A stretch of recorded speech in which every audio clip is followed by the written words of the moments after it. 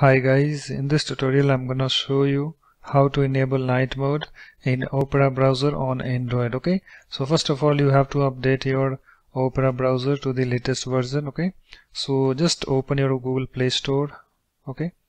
And uh, just do a search for uh, Opera okay? And here we have this Opera browser. So just tap on this okay?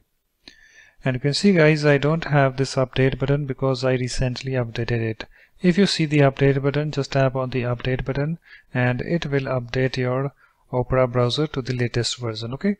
And after that guys you can tap on this open button over here and also you can go back and find your Opera browser over here okay? So let me find that. So here is my Opera browser this app. So let me tap on this to open it. You can see it's opened. So currently guys you can see that I don't have you know uh, night mode enabled okay so in order to enable that what you need to do you have to tap on this menu icon at the bottom right. So let me tap on this okay? And after that you have to tap on this uh, settings. So let me tap on the settings okay? And here we have this night mode. You can see currently I have this disabled. So just tap on this toggle uh, next to this in order to enable that okay?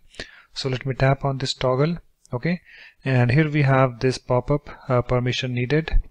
Uh, Opera needs permission to be able to reduce the brightness when night mode is enabled okay? So just tap on this next okay? And here we have this uh, screen opened display over other apps allow display over other apps. So just tap on this toggle in order to enable that. So let me tap over here. You can see it's enabled.